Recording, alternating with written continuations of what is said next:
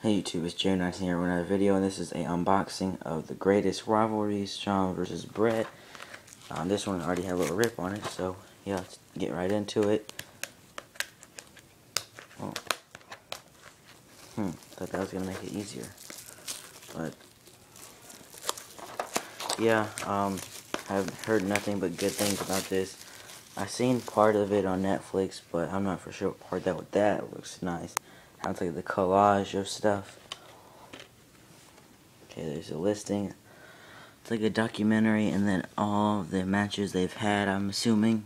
And then, like, Shawn Michaels uh, and Bret Hart's uh, induction, like Bret Hart's return. But uh, got Shawn Michaels, like, pin on the Canadian flag, whatever, cross chopping it. Bret Hart getting a super kick. And Shawn Michaels in the sharpshooter. Um, this is gonna be a good set, and uh, can't wait to watch it. Um, here's the back. I didn't show the back. Well, here's the side. It's got Bret and Shawn. It's pretty cool. They only did this one greatest rivalries. They released a rivalry set. They felt, I guess, they had enough content to put out a whole three disc set, and they do. And I've heard nothing but good stuff. But uh, here's some pictures. But uh, yeah, that's my unboxing of Greatest Rivalries, Shawn versus Bret. And that's about it. Don't forget to comment, rate, subscribe. Bye.